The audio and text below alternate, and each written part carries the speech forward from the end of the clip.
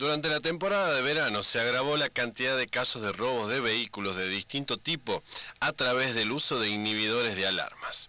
Precisamente durante el fin de semana, dos integrantes de una peligrosa banda fueron detenidos, comprobándose en principio que operaban en el Gran San Miguel.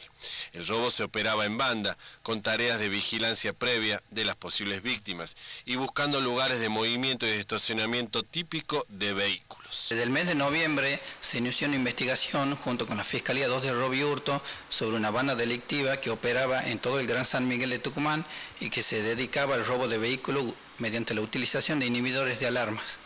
Este modo operandi consiste en los sujetos concurren a lugares de grandes estacionamientos como shopping o supermercados donde aprovechan el momento en que una persona busca estacionamientos, activan el inhibidor, impiden el cierre del vehículo y cuando la persona se retira ingresan a su interior y le sustraen objetos de valor. Siempre eligen estos lugares debido a la gran concurrencia de vehículos donde pasan desapercibidos, generalmente ellos utilizando vehículos de alta gama que no llaman la atención a ninguna persona y simulan también estar buscando estacionamiento.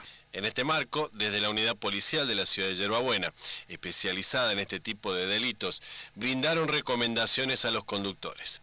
Se pide mayor atención al procedimiento para activar la alarma en el momento de dejar estacionado el vehículo. También se pide una revisión periódica del dispositivo para verificar su correcto funcionamiento.